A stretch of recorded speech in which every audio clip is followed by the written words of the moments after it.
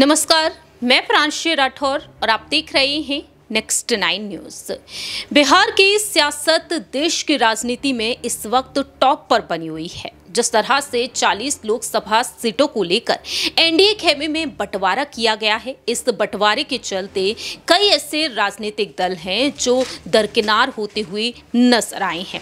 बात की जाए यहाँ पर राष्ट्रीय लोक जनशक्ति पार्टी के मुखिया पशुपति पारस को लेकर। पशुपति पारस, जो साफ़ तौर पर अपनी नाराज़गी को ज़ाहिर कर रहे हैं और लगातार उन्हें इंडिया गठबंधन की तरफ़ से प्रस्ताव मिल रहे हैं।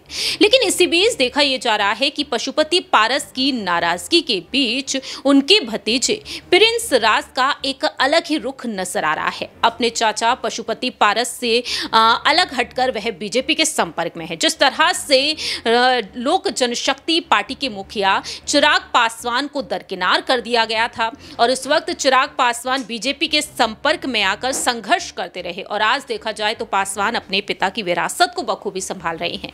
ऐसे में अब प्रिंस राज भी कहीं ना कहीं साइडलाइन होते हुए नज़र आ रहे हैं और प्रिंस राज कहीं ना कहीं अपने भाई चिराग पासवान से अब संपर्क कर सकते हैं। दरअसल आपको बता दें, ये बातें इस वजह से कही जा रही हैं, सवाल इस वजह से उठ रहे हैं, कयास इस वजह से लगते हुए नज़र आ रहे हैं, क्योंकि प्रिंस राज ने हाल ही में बीजेपी के प्रदेश प्रभारी विनोद तावड़े से मुलाकात की है।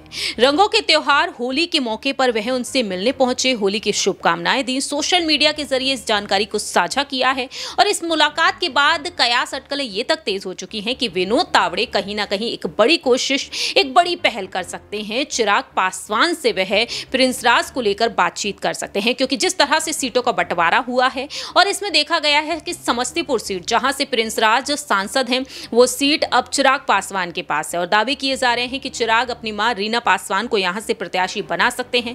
ऐसे में देखा जाए तो इस सीट के लिए अब जद्दोजहद प्रिंस राज करते हुए देखे जा रहे हैं। अब देखना यही होगा, क्या प्रिंस राज एक बड़ी कोशिश, बड़ी पहल करते हुए नज़र आएँगे? क्योंकि कयास अटकलें ये तक तेज हो गई हैं कि बीजेपी अब प्रिंस राज के लिए चिराग पासवान को मनाने की कोशिश कर सकती है। उन्हें टिकट दिलाने की कोशिश कर सकती है कि चिराग पासवान लोक जनशक्ति पार्टी के सिंबल पर प्रिंस राज को टिकट दे दें। लेकिन पासवान ये पहले ही साफ़ कर चुके हैं कि जो बागी नेता हैं जो उनकी पार्टी से बागी होकर गए हैं, उनके लिए कुछ भी नहीं है। और वह पहले भी कह चुके कि समझौते की तो कोई गुंजाइश ही नहीं है।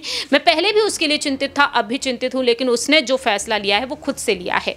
और बाकी के जितने भी लोग संघर्ष में खड़े रहे हैं, वही फैसला लेंगे अब प्रिंस राज के लिए। अब देखते हैं कि प्रिंस राज क्या वाकई में पहल करेंगे?